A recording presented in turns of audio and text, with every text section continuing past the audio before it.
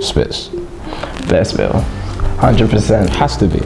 He just, he's a nutcase. He brings a life to the change room, to be fair. i got to give it to him, but he's definitely the loudest. He's a nutcase. Followed not far behind, I would say Don, Dom Samuel. Has to be. Me. Yeah. He, when he, he he knows how to get the crowd going. Like he knows how to read the room very well, especially in the mornings. Uh, knows when to play slow jams. Knows when to play fast songs. Like to be fair, I'll give it to him. AKA Humble on a beat. That's not too bad though. Well, it's not too bad. Dom Samuel. Yeah, that guy. 100%. He's just a He just does things to like get other people's attention. It's like if you're doing anything, he wants everyone to know what you're doing. Make a yeah. joke out of it. 100%. Yeah, Dom Samuel, I have to give it to him to be fair.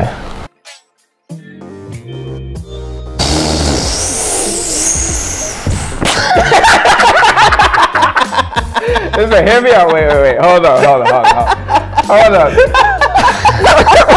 Hold on. I think this is debatable. Oh, you got you got a couple. Uh, there's a couple bad dresses, but um, see me when I come to training, I like to be comfortable. So, comfortable, bro. so I will come in. I will come in my Crocs, come in my little tracksuit. Crocs. I think Crocs are comfortable. If you're working, Listen, they're comfortable, but they stay indoors. Do you know what I mean? You don't wear them out. but to be I mean? fair, if we do. If we like, if I was to go out though, I'll, definitely be up there with best dresses. It's just when I come into training, yes, it's suspect sometimes. It's not. Yeah. Yeah. but there is a couple more. There, there is a couple more to be fair, but I think just because we're here, you know what I mean? Yeah, I'll take that one for the team. Yeah. Yeah, just on training days. Just let's get that straight. Just on training days. I'd say Jack Baldwin. There's a couple, you know. There's a couple. Keith Watson. Huh? There's a, there's a couple. Keithy. Nah, Keithy is a child. I would say Jack Baldwin, Jordan Tillson, Jordan and Alex Samuel. Yeah, they're the three most mature. They're the they're the fathers of the group. If you, know I'll take that. Hundred Yeah. percent.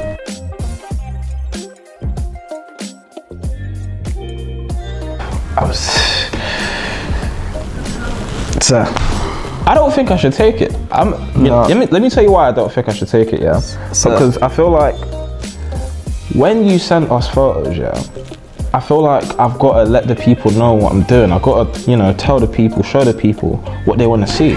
I don't really think I should take it because everyone does it. I'm gonna keep it real. Cool. Let's let's go through how you post. You post picture, Insta and Twitter, and the next day there'll be a video of your goal assist. And then, and then I keep it moving. yeah, so you're And the then I keep it moving. I don't most- understand what the situation is here. Yeah, there's no situation, but you are the most active on social media. You can take that one. But you know, you know, alright.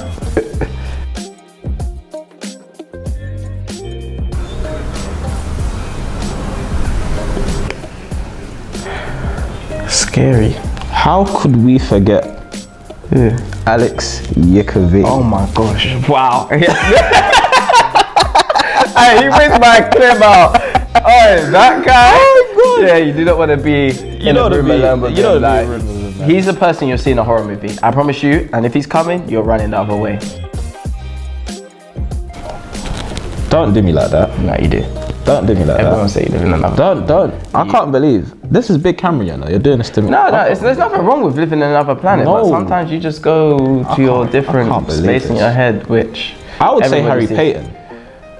Mm. One hundred He percent. just Harry's not. A, I wouldn't say he's a different. Ooh, he does have he does have mood swings sometimes, but I say on a more frequent basis. Doesn't mean it has to be a bad. It doesn't mean it has to be a bad different planet. Like you could be on a happy different planet, but is wild, you know. you could be you're on a happy good planet. Like That is wild. you just go out to space sometimes and you come Nah, back. I can't believe this. Yeah, it's not too bad though. It's not a bad thing to be in a different planet. I actually can't believe this is happening. Some people need that space. Unbelievable.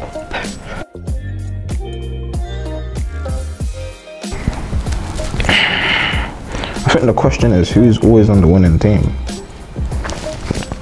I feel like there's a mixture of both. Allow it. Don't do that. Don't sit back down. Sit back Nah, down. nah, nah. No, wait. wait. Nah, um, I think there's just a mixture of both. Yeah, there's I not- don't really feel like there's like a person that's just always on the winning team. Yeah. You always got a mixture, like, you know what I mean? yeah, I think So small sided games wise, yeah, there's a mixture, but Always. with, there's also table tennis, there's also like little challenges. So, I don't really think there's a serial winner. Do you know what I'm saying in terms of that? But you know, everyone has their fair share. I'll, I'll say that, hundred percent.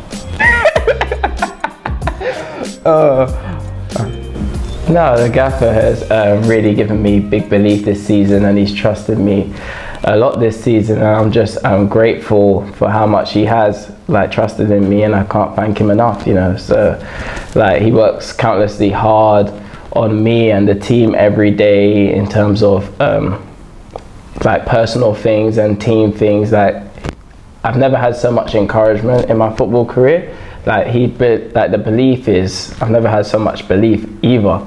It's just different. It just feels like he, like sometimes he doesn't need to even say much to me. Like he just look at me and I know, like I know, like we have that little sync and he just look at me and he's like, today's that day, and I just know, and I'm just happy that um, that I'm repaying him with that, uh, with the faith that he's given me. You know, the gaffer's given me so much confidence. You know, since I you know arrived here, he's just told me to you know express myself, play with confidence, and you know play with belief that you can change games, you can excite the crowd, you can work hard for the team as well as you know bring the team up the pitch. And I feel like it starts from him, and you know it filters down to you know the staff and the boys. But I definitely give you know all the credit to the guy for giving me that confidence because you don't really see a lot of managers you know gravitate to the players as well as you know the gaffer we have here. So you know credit to him for you know showing me the light, and I'm just you know following you know the good footsteps that he leads us through. come down here and they've always been so supportive of me like whenever I play a game or train they always check up on me regardless and it's been really it's been really good in the 20 months that I've been here like um, they've never stopped supporting me because there has been uh, down times as well and they've been there through the down times and with the good times they're also still here so I'm very grateful and thankful for all the friends and family and the support from everyone else that's been behind me from the beginning. So, yeah. Um, to be honest, I feel like I came here with a plan. Um, I didn't think it would, you know, go this well, but you know, coming here, I knew that I had to work hard no matter what the situation was, and you know, I'm just happy that things have gone how they've gone. But you know, things are not over. We've still got a lot of work to do. So I just hope to, you know, carry on with what I've been doing.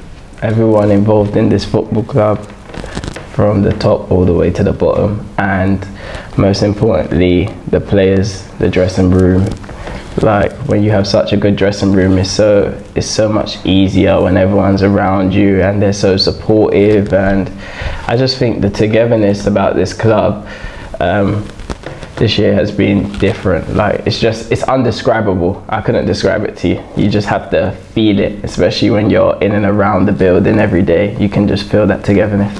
Yeah, the boys are amazing. You know, they brought me in, welcomed me with you know open arms, and I definitely feel like, you know, with that, you're only gonna you know bring success, and you're only gonna feel confident on and off the pitch. So, you know, credit to them for you know taking me in, and you know, hopefully I'm repaying them with you know what I'm doing out on the pitch. I definitely feel like I've accomplished more than what I thought I could. If I'm being honest, I didn't really think I would, you know, hit the ground running, but I definitely feel like I've got a lot more to offer with what I can do and what, you know, I've been going over clips on with, you know, Don and, and uh, you know, people in the background working. So I definitely feel like moving forward, I can definitely do 100% more than what I'm doing now. Yeah, the, the 12th man, that's what I call them. Our 12th man, like, they've got like a little song for me that it gets me going before the game, which is very good. And like, whenever I score, I always go to them because they also believe in me so much. And it's just good to give back to them, you know, something to celebrate. And that's what we're going to keep on doing, especially driving up um, the table this season. So they always come, they come to every home game and they travel far, far to get to away games too. So we just want to repay um, all their belief and supporting us.